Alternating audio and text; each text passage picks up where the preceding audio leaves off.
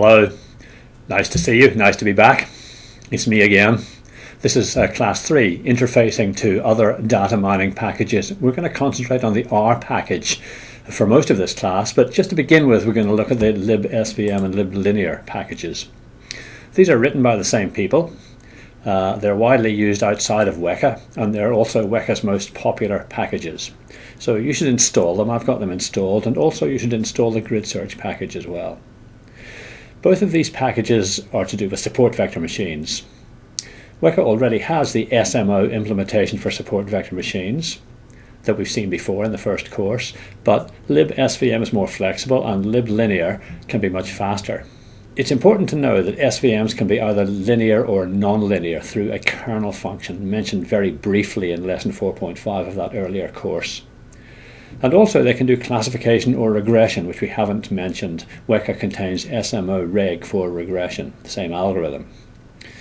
We're going to use the grid search uh, methods to optimize parameters for SVMs, which is quite important. So let's just look at libsvm and liblinear, these two packages, and also the standard SMO and SMO reg. All three implement linear SVMs. All but liblinear are capable of uh, accommodating nonlinear kernels. libsvm does one class classification, which you will see in the activity associated with this lesson. liblinear does logistic regression. It's uh, linear. We saw logistic regression in lesson 4.4 of the first course. Liblinear is very fast, and liblinear can operate with the L1 norm, which I'm not going to explain in this lesson. So just a Uh, a quick uh, look at liblinear. I did a speed test. I used the data generator on Weka's pre-process panel to generate 10,000 instances of this data LED24. Liblinear took uh, 2 seconds to build the model. LibSVM took 18 seconds to build the model, but that's a slightly unfair comparison because it's using a non-linear kernel. So when I changed it to use a linear kernel, it took 10 seconds, and SMO with default parameters, which is a linear kernel, took uh, 21 seconds. So you can see liblinear is quite a lot faster. Now, let's just talk about linear boundaries and uh, support vector machines in general. Support vector machines try to drive a channel between the two classes. Here we've got the blue class and the green class, and they try and drive a channel kind of halfway between the classes to leave as large a margin as possible. In this case, uh, we've got zero errors on the training data and a pretty small margin, the distance between the dashed lines. However, when we look at the test data. Now this is an artificial data set, but in this case you can see that some points in the test data are being classified incorrectly, four points in fact. If instead of using this line, we used, we turned it a bit and used a line with a much larger margin, although it makes one error on the training data, this particular in this particular situation, it gets all of the test data correct, no errors on the test data. So it's an advantage sometimes to have a large margin, even at the expense of errors on the training data. SVMs try to give you large margin classifiers. And here we are with a nonlinear data set. I've uh, drawn a linear boundary here, the boundary that's produced by liblinear or libsvm with a linear kernel, or indeed the SMO package and the SMO classifier in Weka. And uh, this gives uh, 21 errors on the data set, on the training set. Here's a nonlinear boundary for the same data set implemented by libsvm with an RBF kernel. I've got this data set open in Weka's boundary visualizer over here, and I'm going to just choose uh, libsvm. Luckily I've installed the package already and I just start. Okay, let's speed this up.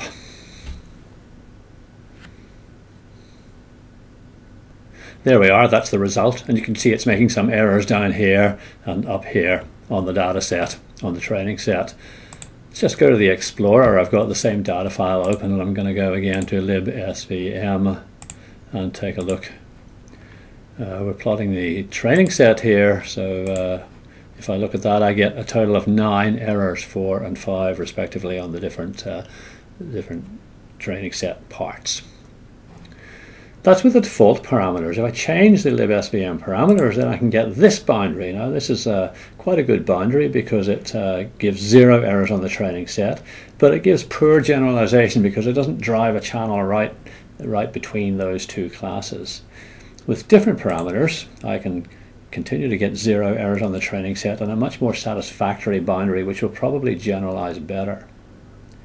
Whenever you use nonlinear support vector machines, you need to optimize the parameters. And the parameters we're talking about are called cost and gamma. When we optimize parameters in Weka, we use the grid search method, which is in the meta category. This is the parameters for grid, grid search. And the default configuration for grid search, well, let's look at it.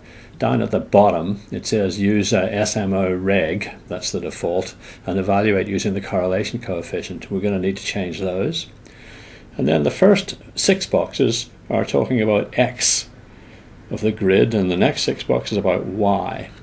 The property being optimized, the x property being optimized is called c, and that's going from 10 cubed down to 10 to the minus 3 in multiplicative steps of 10. That's what those first six parameters signify. And the second six parameters give the same range with the y property of kernel dot gamma. That's for SMO reg. If we want to use libsvm, we need to change some things. We're going to optimize the properties cost and gamma. We're going to choose the classifier libsvm, and we're going to evaluate using accuracy. So let me set that up in Weka. I'm going to choose grid search from the meta category. And in grid search, I'm going to first of all uh, choose the classifier. I'm going to choose uh, SM, libsvm. I'm going to optimize the, uh, just move this up so that you can see, optimize the accuracy. And then the two properties involved are cost and gamma. If I run that, oh, it's finished here, and the result is an accuracy, uh, is the parameters are 1000 for the x coordinate, that's cost, and 10 for the y coordinate, that's gamma. And we've got 100% accuracy with that data set. Well, we could see we were going to get 100% accuracy when we looked at the boundary visualization. That's for libsvm. If we were to choose a different method like SMO, it's got different parameters. So let me just look at SMO here I'm going to choose SMO. I need to find the appropriate parameters. Here's the SMO parameters and uh, I want C here for the cost. And uh, if I look in the kernel I want an RBF kernel. And in the RBF kernel one of the, the key parameter here is gamma. So it's kernel dot gamma. Kernel here dot gamma here.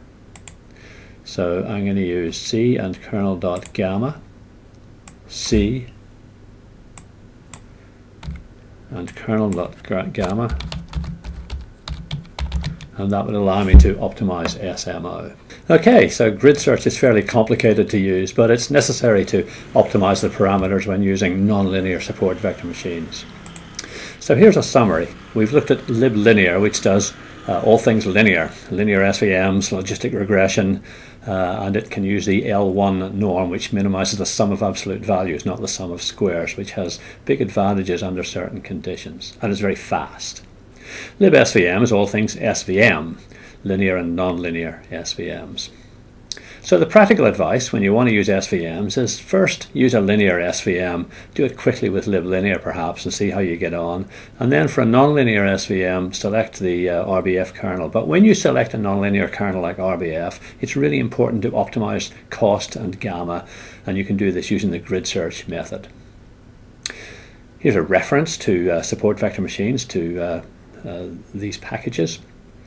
And uh, the activity, as I said before, will involve you looking at one class classification, an interesting thing that libsvm can do. Good luck with that, and we'll see you later.